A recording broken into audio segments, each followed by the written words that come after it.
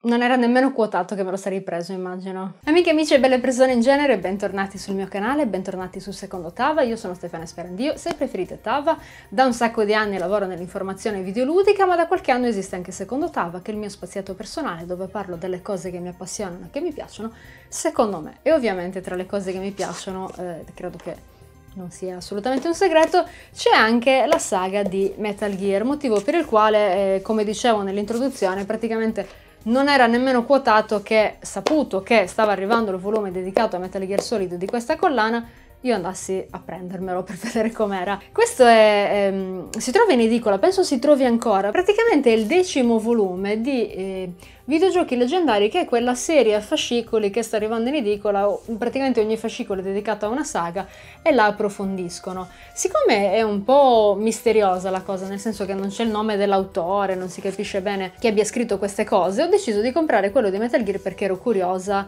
uh, di sapere eh, come sarebbe stata trattata la saga, cosa sarebbe stato proposto in questo volume, insomma, se potesse essere o no una lettura interessante per gli appassionati della saga magari anche per i neofiti che volevano scoprire qualcosa di più su Metal Gear. Allora, sappiate che l'ho praticamente divorato e adesso vi parlo dei contenuti. Per quanto riguarda l'edizione, eh, mi pare che il singolo volume costi 10,99€, che non è poco. Non è tantissimo, ma non è poco, perché comunque è un'edizione abbastanza battagliera, nel senso che sì, ha una bella rilagatura, non so se riesco a farvela apprezzare da questa inquadratura, però mi è dispiaciuto un po' per questa copertina cartonata che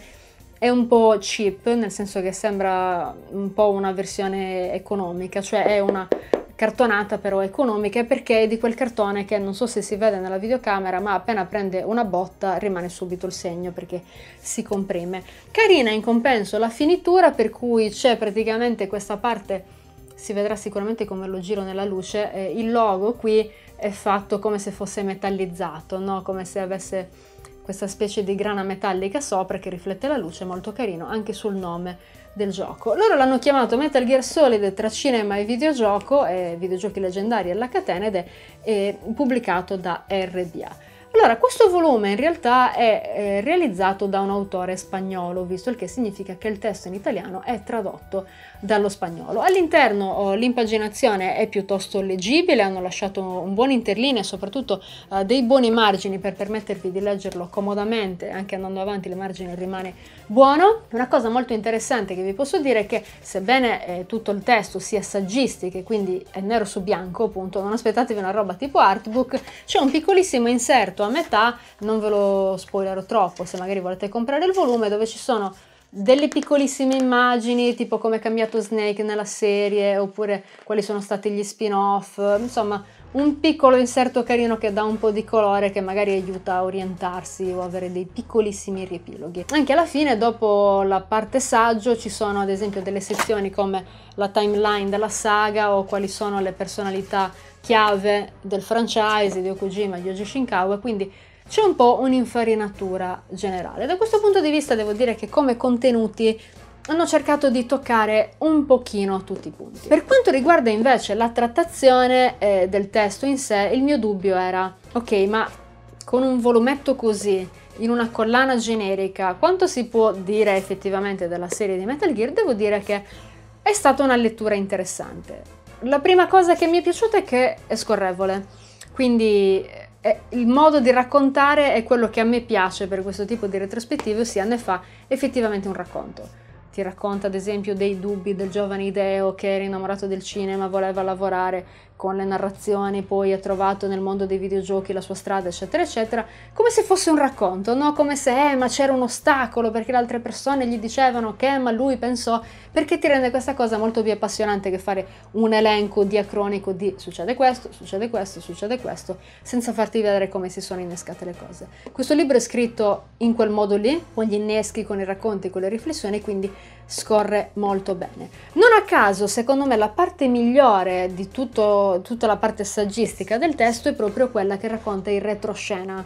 della serie. Ci sono delle curiosità molto belle, citate anche da documentari ufficiali che magari oggi è difficile reperire, su come erano nate le idee dietro gli episodi, quando sono stati avviati i lavori, come magari è venuta la scintilla per fare questa cosa, come si è pensato, che ne so, a Raiden Ci sono tanti retroscena carini che secondo me possono essere interessanti sia per chi sa tanto della saga sia per chi non ne sa niente e vuole capire, cercare di avvicinarsi, capire cosa ci sia di eccezionale. Molto più lacunosa secondo me, ma ha senso perché insomma stiamo parlando di un volume di neanche 200 pagine, sono 140 compresa la parte finale con tutte le schede eccetera, sono 134 le pagine del saggio eh, è molto più lacunosa la parte dove racconta la vicenda in sé all'interno dei giochi, dove l'autore è stato estremamente sintetico, a tratti superficiale, eh, tagliato un po' in corto su certe cose, però ribadisco ha senso, se no questa roba ti diventava tipo l'Antico Testamento.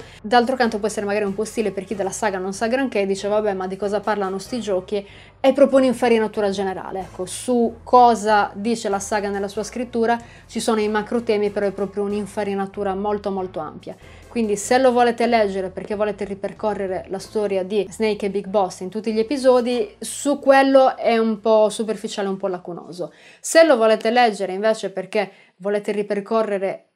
la storia in questo mondo, nel mondo reale, di come sono nati diversi episodi di Metal Gear, qual è stato l'impatto, quali pensieri di Konami, quali dati di vendita, insomma la parte un po' più industry, allora può essere una lettura molto interessante. Dal punto di vista della traduzione vi faccio anche questo appunto, eh, devo dire che l'edizione è piuttosto ben curata, non ho trovato refusi, eh, anche il linguaggio utilizzato non è non è una scrittura terra terra, ecco, nel senso no, non è troppo ripetitivo o cose del genere. C'è giusto qualche episodio in cui la traduzione magari è un po' troppo letterale dallo spagnolo e quindi dici, oddio, questa frase non suona benissimo in italiano, ma